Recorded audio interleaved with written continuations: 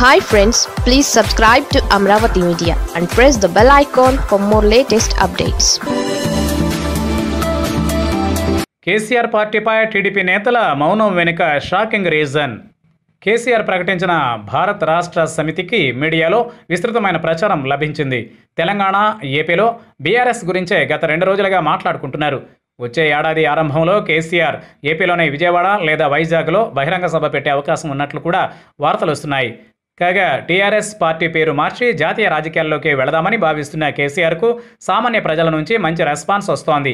అదే సమయంలో బీజేపీ కాంగ్రెస్ మాత్రం ఎప్పటిలాగే తమదైన శైలిలో వ్యాఖ్యలు చేశారు. బీఆర్ఎస్ వల్ల ఒరిగేదేమీ లేదని అంటున్నారు. కానీ టీఆర్ఎస్ శ్రేణులు అభిమానులు మాత్రం వారి మాటలను ఏమాత్రం పట్టించుకోవడం లేదు. అయితే అన్నింటికంటే ముఖ్యమైన చర్చ ఏపీలో జరుగుతోంది. తెలంగాణ ప్రత్యేక రాష్ట్ర ఉద్యమం సమయంలో ఆంధ్ర పాలకులను కేసీఆర్ కాస్త ఘాటుగానే విమర్శించారు. అప్పటికి ఆ మాటలు అవసరమే కాబట్టి కేసీఆర్ అలా మాట్లాడారని టీఆర్ఎస్ శ్రేణులు చెబుతున్నాయి. అదే సమయంలో కేసీఆర్ పాత వ్యాఖ్యలను మళ్ళీ గుర్తు చేస్తూ కాంగ్రెస్ వైసీపీ నాయకులు విమర్శలు చేస్తున్నారు. అప్పట్లో మమ్మల్ని తిట్టి ఇప్పుడు ఏం ముఖం పెట్టుకొని ఓట్లు అడగడానికి వస్తారని అంటున్నారు.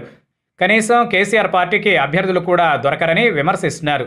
అదే సమయంలో బీఆర్ఎస్ తరఫున మేము బరిలో దిగుతున్నామంటూ కొందరు ఫ్లెక్సీలు కట్టడం గమనార్హం. ఏపీలోని చాలా ప్రాంతాల్లో కేసీఆర్ను సపోర్ట్ చేస్తూ గులాబీ ఫ్లెక్సీలు వెలిశాయి. ఇలా ఎవరి హడావిడిలో వాళ్ళు ఉండగా టీడీపీ మాత్రం ఎలాంటి వ్యాఖ్యలు చేయడం లేదు.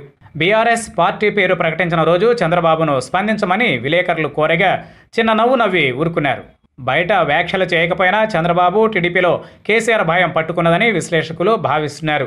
గతంలో టీడీపీలోనే ఉన్న కేసీఆర్ రెండు వేల పద్నాలుగు తరువాత తెలంగాణలో ఆ పార్టీ ఊసే లేకుండా చేశారు. కీలక నేతలను టీఆర్ఎస్లోకి తీసుకొచ్చారు. కొంతమందికి మంత్రి పదవులు కూడా ఇచ్చారు. తెలంగాణలో టీడీపీ ప్రాధాన్యం లేకుండా చేశారు. ఏపీలోని టీడీపీ నేతలతో కూడా కేసీఆర్కు మంచి సంబంధాలే ఉన్నాయి. ఇప్పటికీ కొంతమంది ఆయనతో టచ్లో ఉంటారు. ఏవైనా శుభకార్యాలు ఫంక్షన్లు జరిగినప్పుడు వారిని కలుస్తూనే ఉన్నారు. టీడీపీలో ఉండే అసంతృప్త నేతలను బీఆర్ఎస్ వైపు తీసుకెళ్తారనే అనుమానం చంద్రబాబును వెంటాడుతోంది. వైసీపీలో టికెట్ల కోసం భారీ పోటీ ఉంది. ఎన్నికల్లో పోటీ చేయాలనుకునే వాళ్ళు ఏదో ఒక పార్టీ టికెట్ ఆశిస్తారు.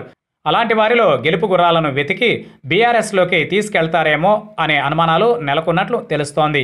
ఆంధ్ర ఓటర్లు బీఆర్ఎస్కి ఓట్లు వేస్తారా లేదా అనేది తర్వాత విషయం. కానీ ఏపీ టీడీపీని కూడా కేసీఆర్ బలహీనపరుస్తారేమో అని చంద్రబాబు అనుమానిస్తున్నట్లు తెలుస్తోంది. అందుకే ముందు జాగ్రత్త పడాలని భావిస్తున్నారు. రెండు మూడు రోజుల్లో టీడీపీలోని కీలక నేతలతో చంద్రబాబు సమావేశం కానున్నారు. బీఆర్ఎస్ పార్టీ నేపథ్యంలోనే ఈ మీటింగ్ ఏర్పాటు చేసినట్లు తెలుస్తోంది. బీఆర్ఎస్ పార్టీపై ఆసక్తి చూపిస్తున్నది ఎవరు? కేసీఆర్తో టచ్లో ఉన్నది ఎవరనే విషయాలను చంద్రబాబు ఆరా తీస్తున్నారు.